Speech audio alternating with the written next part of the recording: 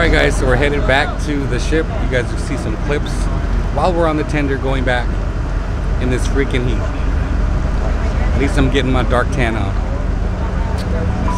Check it out.